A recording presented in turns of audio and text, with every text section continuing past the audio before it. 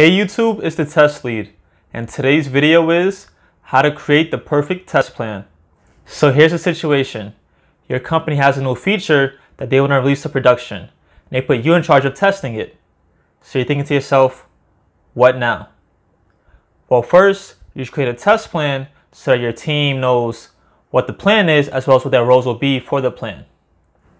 This video will cover what is a plan and why is it needed, as well as the eight steps to create the perfect test plan. So first off, what is a test plan? A test plan serves as a blueprint for the testing practices. So first off, what is a test plan? A test plan serves as a blueprint. It is usually created by the QA of the team. It is a document that details all the different aspects of the plan testing that will set up your team to have proper test coverage in a successful test cycle. The test plan, by definition, should inform about the scope, approach, resources, and schedule of intended test activities. This means the test plan should include a testing schedule, clear objectives for each part of the schedule, the testing strategy that you wish to implement for your testing practices, any resources that will be needed for the testing practices, and finally, time estimations for how long each part of the test plan should take. When creating a test plan, you want to make sure that it's concise, readable, organized, and accurate. So why is a test plan really needed anyway? Many reasons. As I stated previously, it serves as a blueprint for your team. This will not only be used by the testing team, but also by people not on a testing team such as business, product owners, developers, and customers. Having a test plan tells everybody what they should be doing and when they should be doing it. Also, any test plan that is effective and successful can be reused later as a template for future test plans. That's how you improve your process and become more efficient. Now into the nitty gritty, how to create a test plan. There'll be eight steps. First, learn about the application.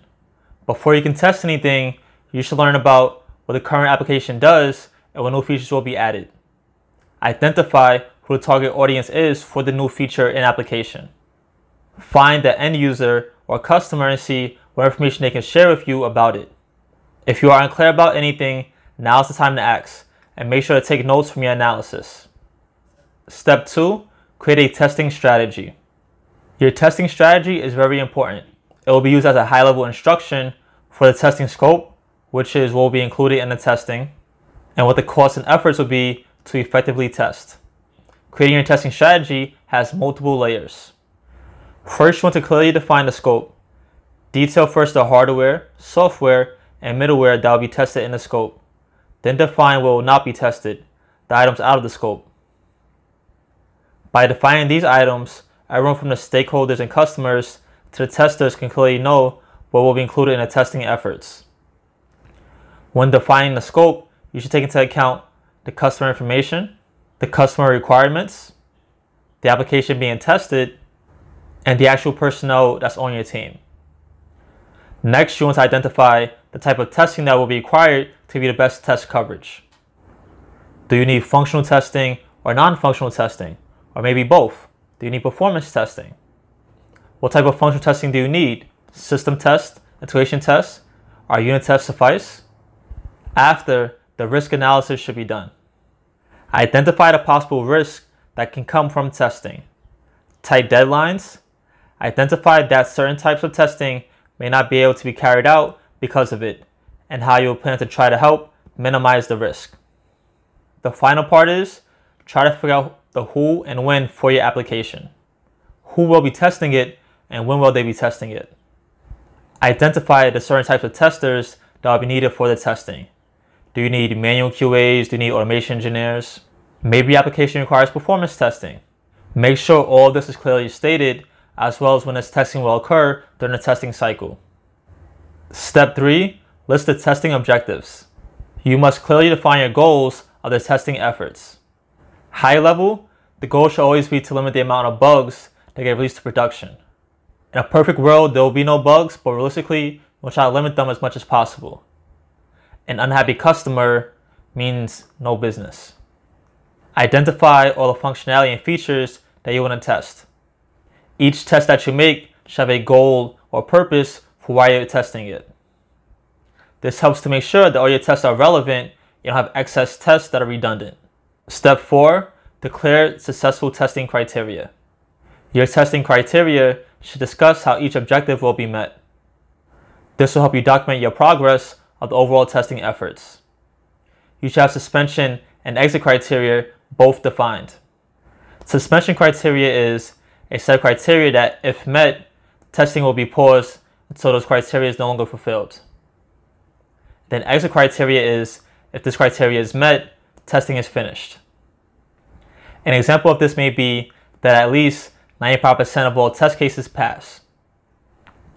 Step 5. Figure out the resource allocation. List out all the different resources that you'll need for testing. This includes human resources as well as any hardware or software. Do you need some developers, some QAs? List it. Need certain operating systems? List it. Need a specific testing tool? List it. This list is very important because it dictates what will be used going forward. Step 6. Identify your testing environments. A testing environment is an environment setup that mimics how real users will be using your application. This includes the software and hardware needed to execute your tests. You may need different environments set up for different phases of your testing. Does your application need a certain amount of memory on a machine to run properly? Does your application need to be tested on all web browsers? If so, make sure you have environments where all this is accessible. And that's another part of testing. Don't ever assume anything. So let's say, oh, it works on Chrome, should work on Firefox. No, actually go and test it to make sure. Step seven, create a roadmap. Now that we have all the little things figured out, we need to create a schedule and estimate how long we think each part of the process should take. From this, you should be able to create deadlines for different parts of the project. Take into account possibly adding extra buffer time in case bugs are found throughout the process. You need to go back to development and then test again. This will be the guide that everybody as part of the testing team will use to identify different milestones along the project. Finally, eight, the test deliverables. To wrap it up, your testing document should include all the test deliverables required to complete testing. Test deliverables are a list of documents and components that need to be developed and maintained for the testing efforts. Deliverables also need to be documented throughout the testing practice. We can break down these deliverables into three different sections. First, before any testing occurs, we should have test plan documentation, test case documentation, and test design specifications. During testing, including testing scripts, test execution, test data, and test execution logs. And then finally, after testing is complete, the testing results, defects, guidelines, and any release notes. Now let's wrap it up. In conclusion, writing a test plan is a very important task and is very challenging. It's important that if you need any resources, you ask for them in the beginning. That way you give other teams time to allocate those resources for you. At first it's going to seem very overwhelming, but once you do a few test plans and you find a template that works for you, it'll be a lot more seamless process. If you found this video helpful at all, please like, share, and subscribe. If you want another video just like this, please take care. If you have any questions, comments, concerns, or suggestions for future videos, please leave them below. And hey, don't forget to learn something new today.